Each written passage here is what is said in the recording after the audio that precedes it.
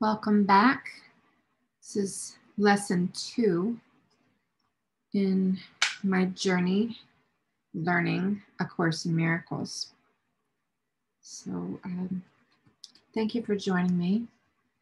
Uh, a Course in Miracles is a theor- theoretical foundation, right? So, an untrained mind can accomplish nothing the exercises are very simple. They do not require a great deal of time and um, uh, it does not matter where you do them. And um, do one set of exercises per day. The purpose is to train your mind in a systematic way to a different perception in the world. Do not decide for yourself that there are some people, situations, or things to which the ideas are inapplicable. The, this will interfere with the transfer of training. The very nature of true perception is that it has no limits.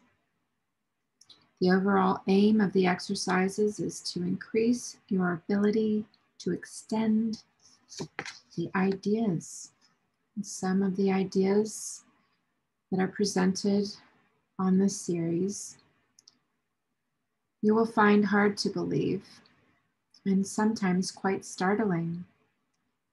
This does not matter. You're not to judge them at all. Whatever your reactions to the ideas that you may have, use, use those reactions. Nothing more than that is required. So that's the introduction of this video. And um, lesson two,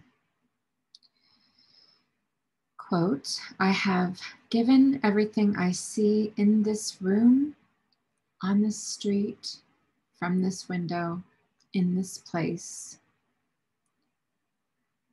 all the meaning that it has for me. And um, this exercise is uh, with the same uh, idea as the first one. Uh, begin with the things that are near you and apply the idea to whatever uh, you see, whatever your eyes rest upon. And then increase the range outward.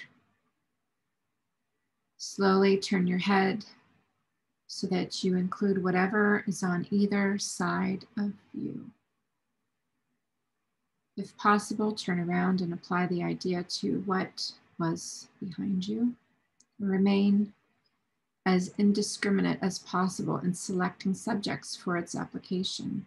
Do not concentrate on anything in particular, and do not attempt to include everything you see in a given area or you will introduce strain. So we are not here to strain ourselves.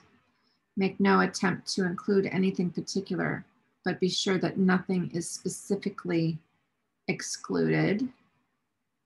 Um, try to apply the exercise with equal ease to a body or a button, an arm or a piece of fruit, uh, merely glancing easily and fairly quickly around you, trying to avoid selection by size, brightness, color, material, or relative importance to you.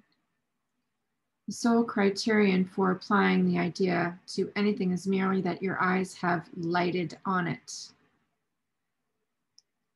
So, again, the lesson two I have given everything I see in this room all the meaning that it has for me. And that's the truth for the day. So thank you, and we'll be back again for the next lesson that I am learning along with you. If you're following along, please subscribe, like, and make a comment that is applicable to the lesson today. And um, with with heart. Uh, I will see you again. Blessings.